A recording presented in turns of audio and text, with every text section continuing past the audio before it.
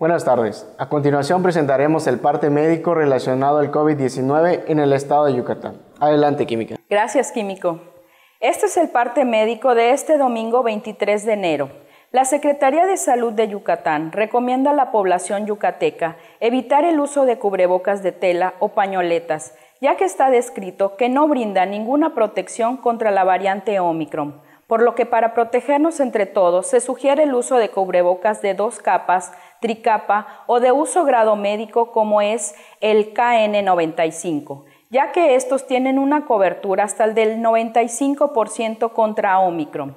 El pasado viernes arribó a Yucatán un nuevo cargamento con 240 mil vacunas de la farmacéutica AstraZeneca, las cuales serán destinadas para la aplicación de la dosis de refuerzo a los sectores de población de 40 a 49 y 50 a 59 años de edad que viven en Mérida, informó la Secretaría de Salud.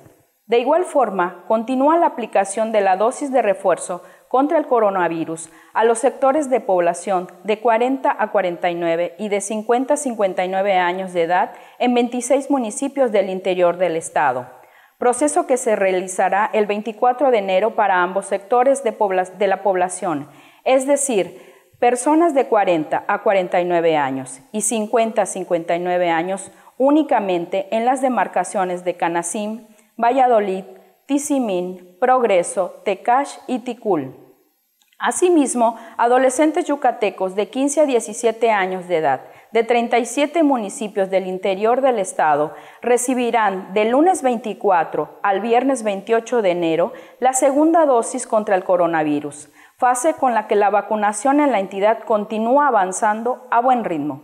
También maestras y maestros y personal educativo activo de las escuelas públicas y privadas del Estado que por algún motivo no pudieron recibir su dosis de refuerzo contra el coronavirus tendrán una nueva oportunidad para vacunarse a través de una jornada extraordinaria de vacunación que dispuso el gobernador Mauricio Vila Dosal la cual se realizará el próximo martes 25 de enero y cuya única sede será el macrocentro habilitado en el Centro de Convenciones Yucatán Siglo XXI, en un horario de 8 de la mañana a 4 de la tarde.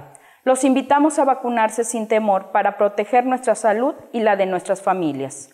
Estamos trabajando de manera conjunta el Gobierno del Estado, la Secretaría de Bienestar y las Fuerzas Armadas. Como se ha señalado, en la reapertura económica los datos más importantes son la ocupación hospitalaria y los ingresos diarios. El día de hoy tenemos 158 pacientes en hospitales públicos, 73.660 pacientes ya se recuperaron, no presentan síntomas ni pueden contagiar. Esta cifra representa el 83% del total de contagios registrados, que es 88.922. Hoy se detectaron 904 nuevos contagios de coronavirus, 783 en Mérida, 34 en Tizimín, 20 en Acanqué, 8 en Sellé, 7 en Vaca, 5 en Jomún y Junucmá, 4 en Motul, Valladolid y 4 foráneos, 3 en Canacín, 2 en Canzacap, Cusamá, Progreso, Tecó, Ticul, Timucul y Humán, 1 en Aquil, Calotmul, Chaxiquín, Chemash, Concal, Tzilán de Bravo, Chononcawich, Jalachó, Izamal, Mashcanú, Suma, Tecantó y Tecash. De los 88.922 casos positivos, 700 son de otro país u otro estado. Específicamente en Mérida se han diagnosticado 52.723 personas contagiadas de coronavirus que viven 13.725 en la zona norte, 12.887 en la zona oriente, 5.149 en la zona centro, 8.316 en la zona sur, 12.646 en la zona poniente. Lamentablemente, en este parte médico informamos de seis fallecimientos, cuatro hombres y dos mujeres de un rango de edad de 39 a 86 años. Tres residían en Mérida, dos en Motul y uno en Benito Juárez, Quintana Roo.